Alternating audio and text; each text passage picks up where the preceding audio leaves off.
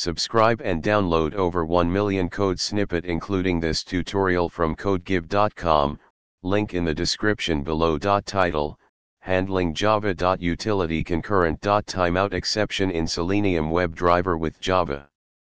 Introduction Selenium WebDriver is a powerful tool for automating web applications, but like any other software, it can encounter issues during execution.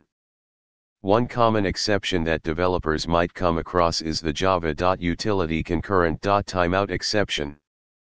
This exception typically occurs when a WebDriver operation takes longer than the implicitly or explicitly set timeout to complete.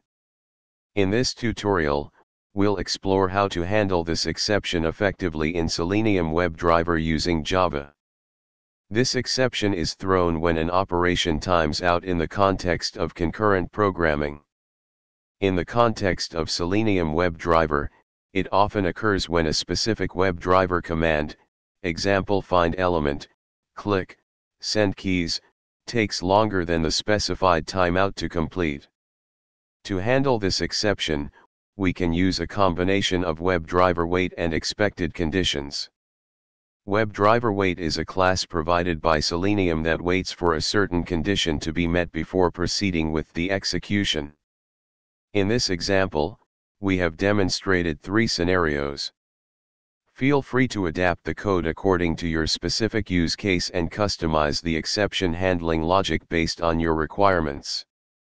ChatGPT